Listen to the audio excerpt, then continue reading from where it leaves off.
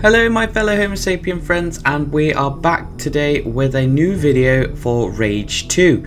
Now in this video I'm going to be going over some of the small details that they've actually released for the game. Unfortunately there is no release date as yet. There is a prediction that it will be in spring 2019 so fingers crossed this is true. I am actually really looking forward to this having played the first one and completed it several times. Uh, it looked it looks fantastic what they've done with it so far. It doesn't look like they've changed a great deal of it.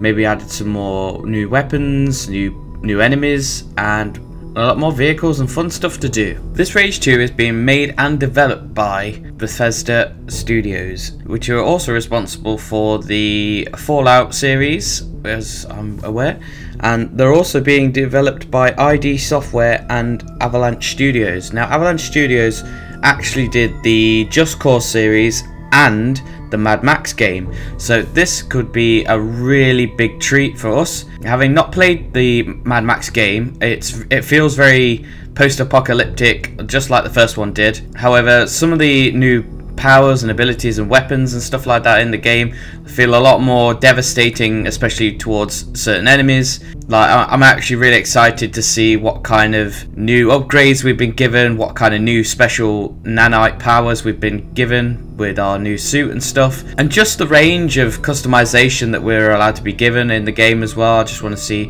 what kind of stretch we have on that, whether we can actually have like obviously dress our character in new armor and stuff like this, and maybe, even customize like an outpost or something just just to uh, like extend on what we had in the first game. Having the first game released on October 2011 eight years later we're about to get our second installment of the franchise.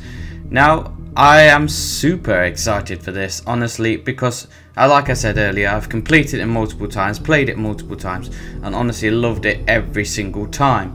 I mean, you don't really change much of the story. The story kind of continues, but you have your side quests and your, your customizations and stuff like that, and all these new things that you have.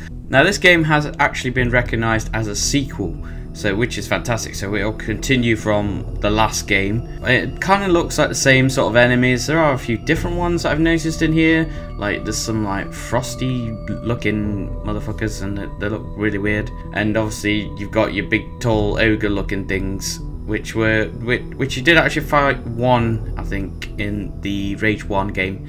So it'd be interesting to see how many of these big guys we got to actually fight.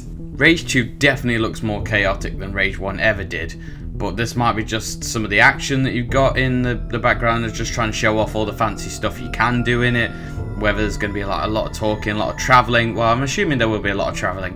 The, the game has an open world, which what number one didn't have. Number one had like more of a sandbox kind of feel to it.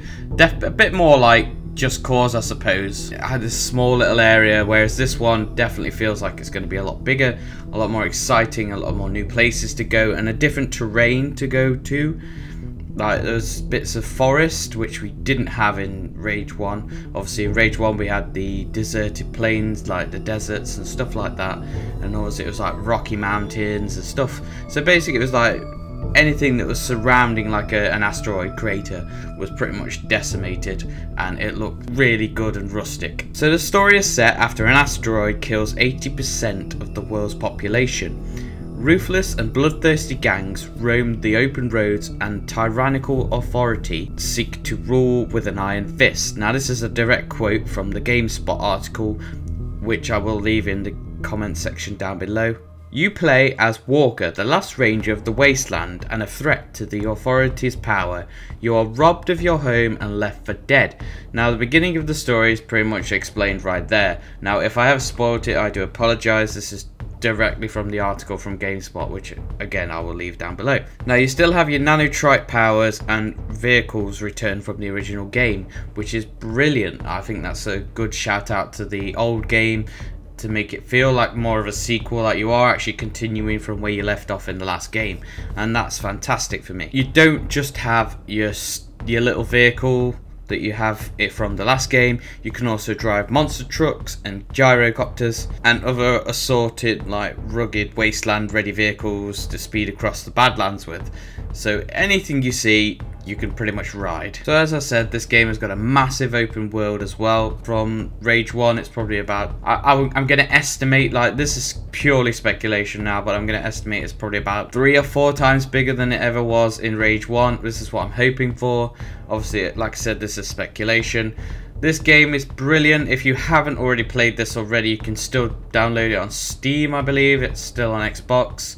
I'm not sure about PS4. I don't think you can get it on there, but definitely on Xbox and PC. If you haven't already played the original game, I do recommend that you do that. It is a fantastic game and it it basically has everything you want from a post-apocalyptic first-person shooter. So games that were probably more like uh, like Borderlands, Mad Max, Doom, stuff like that just Cause, you know, games like that with massive destruction and crafting materials and post-apocalyptic landscapes and, and shooting stuff like mutants and stuff like that. So if you are a fan of those games and you haven't played this, I do recommend that you go out and do that. Now, obviously, I haven't gone into a lot of detail in this video because there isn't a lot of details to go to, but we do have E3 coming up next month, so there may be more dropping when that comes live next month. So do watch out for those. Uh, especially look watch out for my channel because I will be trying my best to get a, a lot of those videos out. Obviously they're to be pumping quick and fast at me so it will take me a bit of time but don't worry about that. I can get that out for you no problem. Now thank you very much for watching this video. So if you did enjoy this video please give it a like. If we can get this video up to at least 10 likes I will be super happy. Obviously subscribe if you're new to the channel and don't forget to hit the bell so you get a every time I post a new video and please take care of yourselves and others and bye bye for now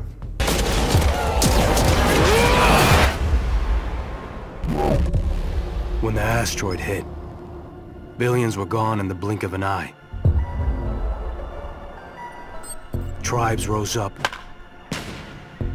Alliances formed. Territory was conquered. There was no one left alive to tell you no. And in this wild, wide open place, if you wanted something bad enough, it was yours for the taking. You see? In a world where there are no rules, insanity rules.